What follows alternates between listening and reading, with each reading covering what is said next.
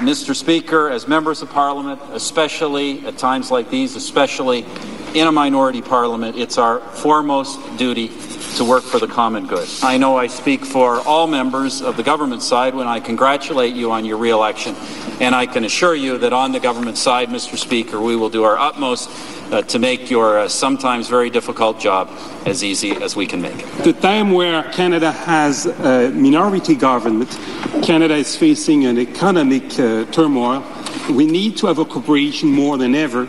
We need to have decorum. Uh, we need to have mutual respect. And uh, we count all on you uh, to help this House about that. But this is a responsibility too that we all share. And uh, you may count on the official opposition to do everything to be sure that Canadians will have the House they deserve. In a parliamentary democracy such as ours, the government must always be responsible and accountable to the people's representatives. Our government is mindful of both the privilege and the responsibility with which we have been entrusted. Canadians just uh, elected a minority government, and their priority in these uh, tough economic times is to see their parliament work. It is also the priority of the official opposition, the Liberal Party. Mr. Speaker, just as Canadians are a people who have come from different and sometimes antagonistic backgrounds, and yet have managed to create one of the most harmonious societies on earth, so we as their representatives should resolve to put aside clearly partisan considerations and try wherever possible to work cooperatively for the benefit of Canada. What this Parliament does not need are government written manuals for committee chairs instructing them how to disrupt the work of vital parliamentary committees. Hear, hear. Hear, hear. What this Parliament does not need is a government that attempts to manufacture confidence votes on bills that simply are not matters of confidence. Hear, hear. It is high time that the government actually unveil the plan that will protect jobs, that will safeguard Canadians' pensions and savings. And it is high time that this government showed an ounce of fiscal responsibility. As the effective opposition across this country, Mr. Speaker, from the furthest points north and south and east and west of this great country, New Democrats will be demanding more of this government.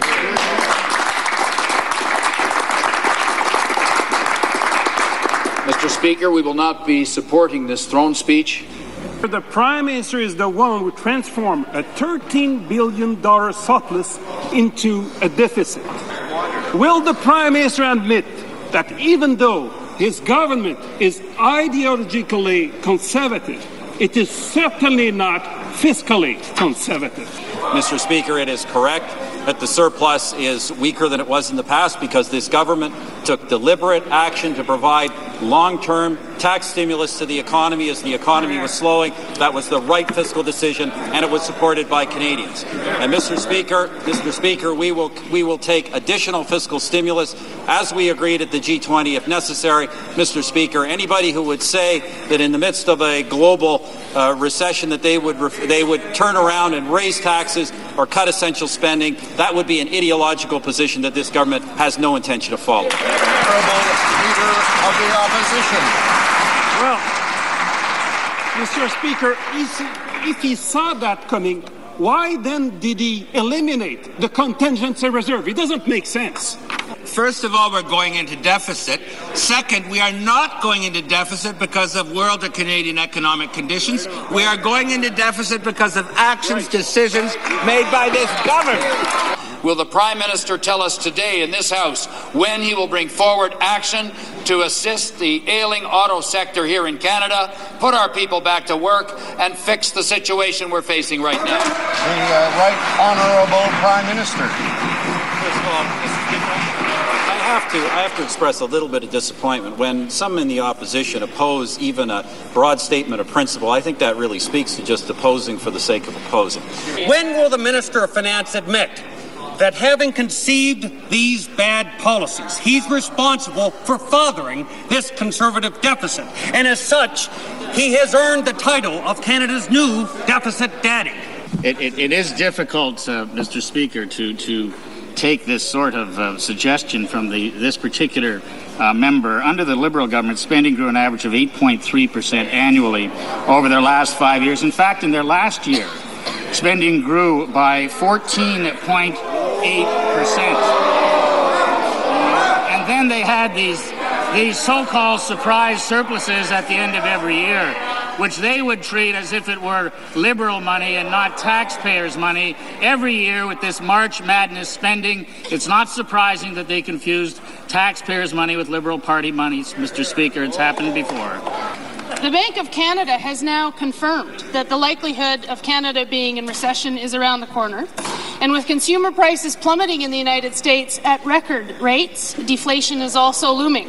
Yesterday, however, the minister suggested that his economic statement coming next week will include no new stimulus action plan.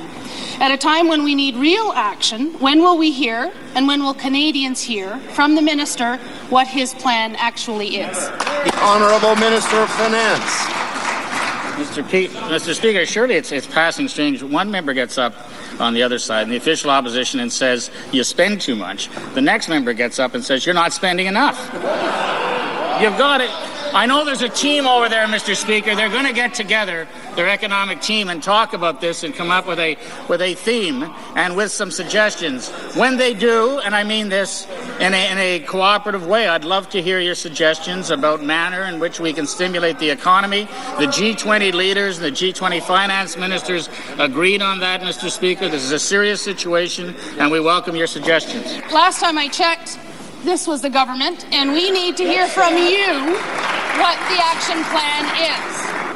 Mr. Speaker, many of the 160,000 lost jobs could have been avoided if only this government wasn't so stubborn in its refusal to act on their on workers' behalf.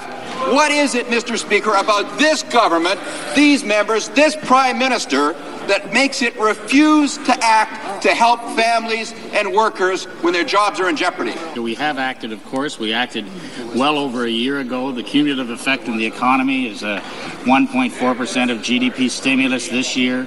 Some of the provinces have joined us in reducing taxes on businesses. Next year, the stimulus in the economy will go 2%. To put that in context, that's among the highest in the G7 in terms of the stimulus we've already built into the economy. I'm sure the workers in St. Catharines and Oakville are very happy with that answer. Why is it, and what is it about this government, and what will it take to make it finally act to protect manufacturers, jobs, and workers in this country, Mr. Speaker, where that, where that sector is even more. The Honourable Minister of Finance. Well, geography is important too, Mr. Speaker. Uh, in fact, St. Catharines elected, re-elected a Conservative member.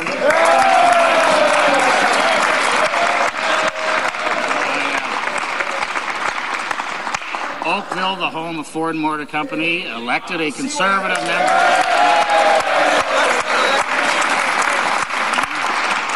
And um, the good people of Oshawa re-elected a Conservative member.